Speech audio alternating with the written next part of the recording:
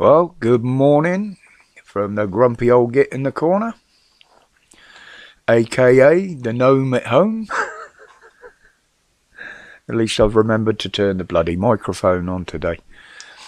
Well, obviously, the main story going around now is uh, Harry and Markle, and uh, you won't get any reports on that on here because I don't give a shiny shite about them, really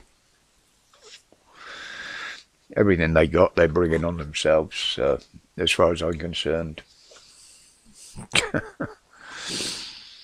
but everything today that's coming out is um, fiscal, as they call it, financial shit. Uh, you know, they're saying that retail sales now have dropped, and the government are saying they're surprised. Well, this is always the problem with them. They don't live in our world. They live in their own little world where they can afford to buy things that they want, not just what they need. I mean, we're only just surviving, most of us, on what we actually need, not what we want. So think about this when you're buying your Christmas presents. Uh, a lot of things just get put away after Christmas, back of the cupboard and don't get used again. So think about what you buy for people this year. Buy them what they need. You know, if if you normally buy them a kitchen gadget that gets used maybe twice in its lifetime, then think about a hamper of food or you know, a, a voucher to top up their gas or their electricity if they need it. Um, to me, at the moment this year, the, these are the sort of presents that people need. Not what they want, but it's what they need. So think about that, especially during this cold weather. Because the government aren't going to do anything about the cost of living. They like the fear, they like the power they're holding over people. Know, again, it's going to be a very hard Christmas for many. So, if you know anybody that's having a bad time of it, consider a call, a visit. A few kind words can go a lot, a long, long way to helping somebody. You know, check on your olds if they live near you, or any olds that live near you, because many of these people, like myself, are too proud to ask for help, even when they need it and these are the people that usually need it the most. Yeah, especially with the globalists continuing their rampage through the country, you know, with interest rates going up again. Obviously, this was agreed between government and the Bank of England. You know, that all these globalists are in it together.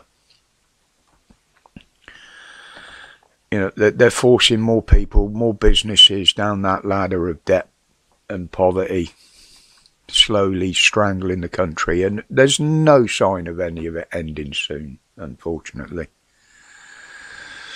And many more are going to die because of what they're doing. But,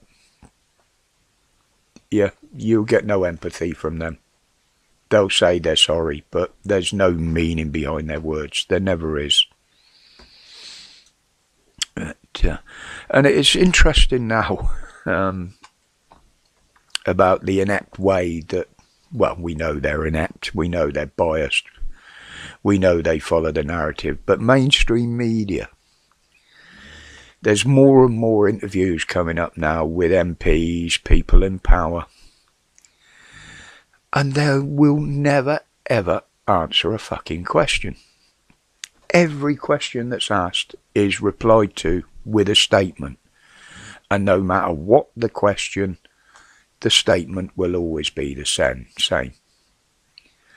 Now, just for once, for once, I would like to see one of these mainstream media reporters and interviewers to have the bollocks to stand up and say, that is not answering the question. You've given me that answer twice. Now, get the fuck out. This is not a propaganda uh, outlet, but they won't. the second time they open their mouth with me, I would shut them down, turn them off. But we know their narrative following, they do what they're told. The government has the power over them.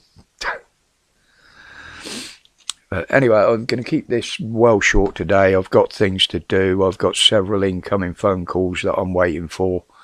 Uh, in particularly one from the DWP um, over my health. Um, I've got a phone interview with them this afternoon, so I've got to get all my medical details out. It'll probably come to a load of bollocks because they, they're another group that just don't give a shit about people out here. Doesn't matter what your hardship is, what, what your problems are, what your medical problems are. They ain't shit. They don't give a shit about helping you. But yesterday we got the decorations up, or I did. Decorated my little corner. Uh, the big trees over there, you will see that at some point when I move the camera across, probably on the live Sunday with Pap, which we hope will be happening this week. Pap, if you're watching, stay awake. Alright, and guys, I'm going to leave it there for now. As I say, I'm going to be very, very busy today, so I just wanted to put a quick one out there. and until the next time, as always, welcome to the new subs. Um, there was another two yesterday. Um, I won't give your names out until you make a comment in the comment section. Um, or you let me know you want me to put your name out there. I, I don't work that way. But welcome to you guys from wherever in the world you are. I'm getting a few more from here, there, and everywhere now. But until the next one, thank you for your support. My respects to each and every one of you for that support. The channel's slowly getting a bit bigger, and there's some incoming now. Ah, okay. and until the next one, no video tomorrow, by the way.